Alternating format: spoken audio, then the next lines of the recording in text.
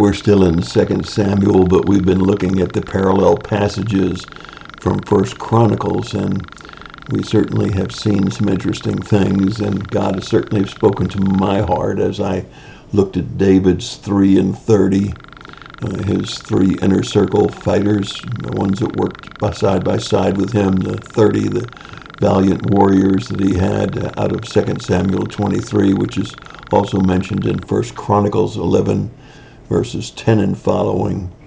Uh, but yesterday I failed to mention some of the godly men uh, who were in ministry who had a tremendous effect on my life. Uh, going all the way back to Richard Heller, my first pastor after I was saved, Gene Henson, uh, an inner group that uh, was formed in our church with Campus Crusade for Christ, Bob and Janet Price. My, the first pastor I worked for, Steve Cloud. Uh, pastors I worked alongside of Dave Busby, dear friend Ron Dunn, and John Phillips, Peter Lord, Jack Taylor, all had a tremendous influence on my life, and I'll be forever grateful to all of them for what they did in my life. Well, David has mourned Abner. He's been disappointed in Joab, but he's left Joab in the hands of God and has uh, let God deal with him. In 2 Samuel 4, Saul's son Ishaboth uh, had two mighty warriors who turned on him, killed him in his sleep, and took his head to David. And David reacted about that just the way he did when he heard that from men who claimed to have killed Saul. And he had these two warriors uh, who thought they were doing David a favor. Uh, he had them killed because they had been so uh, devious and uh, and taken uh, life of a man who was sleeping and uh, knew that he could never trust them because of what they had done and their deception with uh, Saul's son. So uh, we we find in 2 Samuel chapter 5 the recording of the fact that David is made king of both Israel to the north, Judah to the south, and we see him entering into a covenant with the people in First Chronicles 11:1, and we see that the uh, com- combination of the armies of Judah and Israel became a mighty force to fight against the Philistines.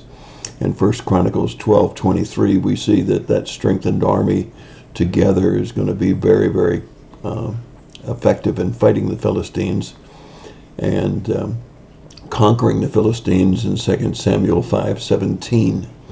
So we see a phrase that I think many of you have heard before, but I would reiterate this phrase is absolutely true, and that is we're better together. Uh, Southern Baptists, as in their cooperative program, are better together.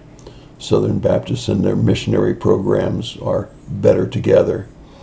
Southern Baptists are better together when they can agree on the right sound doctrine straight out of the scripture.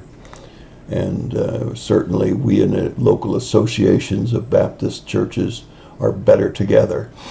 There's a lot of work that can be done when stronger churches come alongside those that are not quite as strong and help them in every way that they can, even if it means a little sacrifice of sharing some of their talent with other churches. And I'm really encouraging the local associations uh, to try to encourage the pastors of the stronger churches to be better together by working with the smaller churches and helping them to grow and not being solely interested in their own ministry. We are all better together.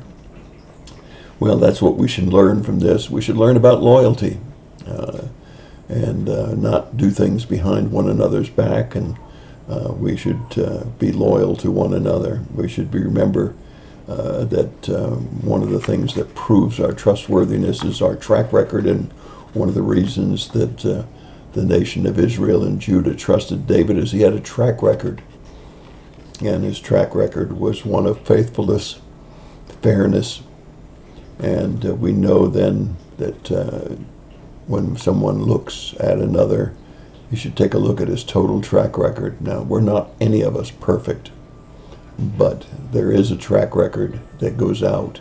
And uh, that track record should be quite clear to everyone around us. So we need to uh, remember that phrase, better together. Whether you're a member in a church and you join in with the work of the church, the church is better together. Uh, whether you're a pastor and you're working in an association or within the Southern Baptist Convention, you're better together.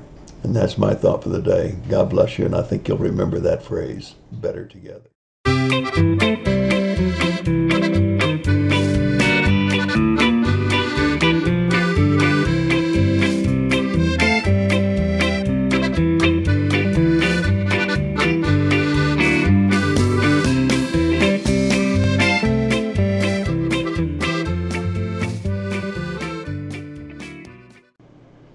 What is sin? Sin is anything that's displeasing to God. We've all sinned, haven't we? Well, the wages of sin are death. The scriptures tell us that very clearly. We're all guilty. It is written, there's none that is righteous, not even one. Romans 3:10. You see, all have sinned and fall short of the glory of God. Romans 3:23. For the wages of sin is death, but the free gift of God is eternal life in Christ, Jesus our Lord. Romans 6:23. But if we confess with our mouth Jesus is Lord and believe in our heart that God has raised him from the dead, we will be saved. For with the heart a person believes, resulting in righteousness, and with the mouth he confesses, resulting in salvation.